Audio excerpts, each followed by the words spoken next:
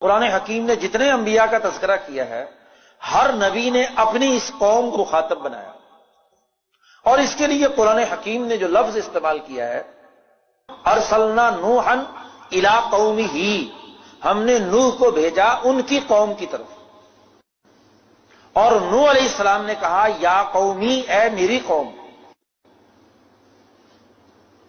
پاکستان میں بسنے والے لوگوں سے میرا سوال کہ یہ نو علیہ السلام جس کو اپنی قوم کہہ رہے ہیں، یہ نو علیہ السلام کے عقیدے پر تھی۔ عقیدے کی ہم قوم ہیں۔ یہ دو قومی نظریہ ہے، یہ ایک قومی نظریہ ہے۔ بھائی نو علیہ السلام جس قوم کو کہہ رہے ہیں، اے میری قوم، اس کا عقیدہ تو کفر کا ہے۔ اگر وہ مسلمان ہوتی تو او عبد اللہ مالکم من الہ غیرو کہنے کا کیا مطلب تھا؟ تو قومیں کس سے بنتی ہیں؟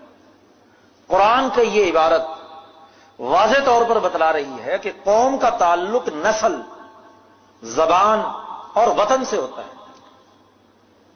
اور اگر عقیدے کی بنیاد پر قوم بنتی تو یہاں غیر مسلم کو اپنی قوم کیسے قرار دے رہا ہے قرآن؟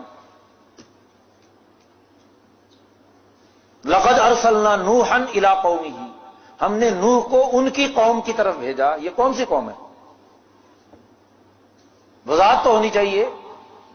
یعنی اس دو قومی نظریے کا نہ نو علیہ السلام کو پتہ چلا، نہ داود اور موسا کو پتہ چلا، نہ محمد صلی اللہ علیہ وسلم کو پتہ چلا، نہ داتا گنج بخش کو پتہ چلا، نہ خواجہ معین الدین اجمیری کو پتہ چلا، نہ مجد الفسانی اور نہ شبری اللہ کو پتہ چلا۔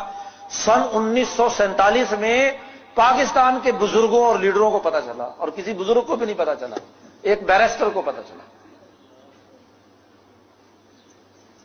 سوچو تو صحیح ہم نے قرآن سے سیکھنا ہے یا قرآن کو اپنے اوپر، اپنے نظریات کے اوپر قرآن سے دلائل اخذ کرنے پہلا، اصل میں قرآن ہے۔